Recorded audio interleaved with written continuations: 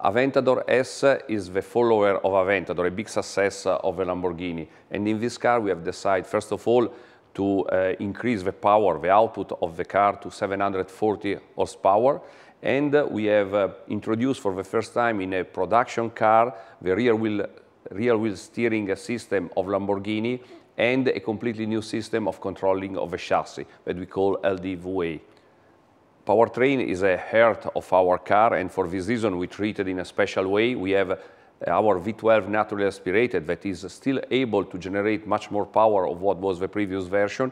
We achieve a 740 horsepower with an increase of the volumetric efficiency, some optimization of the cam phase, and also an increase of the speed of the engine. But we work also in the powertrain, in the gearbox, introducing a completely new software that make realize a better matching between a gearbox and engine, and in this way we are able to smooth the shifting in the, in the Strada mode and to have much more faster and precise shifting in sport and in Corsa. Rear wheel steering that we apply in uh, Aventador S, first, first of all, is a system that cover all the range of functionality of the car. And we have two different modes. One is uh, for the normal speed of the car, that uh, is uh, due to the counter phase movement of the rear wheel compared to the front is able to reduce the virtual uh, wheelbase of more or less 500 millimeter. In this way, the car is much more agile, is much more reactive in the change of line and in change of the dynamic behavior of the car.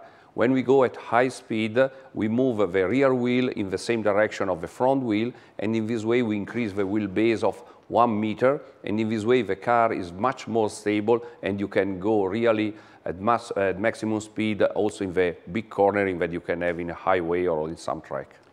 About uh, all these new features is important to be able to control, and for this reason we have uh, introduced this new system that we call LDVA, that is a system that from an electronic point of view is able to control all the parameter of the car, starting from the steering, from the powertrain, from the suspension, and also from the rear wheel steering. And after moving also in the ABS and SP means traction control and the control of the grip of every wheel is able to react in a fast way as possible, controlling all what happened in the chassis. Means uh, to guarantee to the driver that is able really to achieve the best performance of the car in a best and safe way as possible.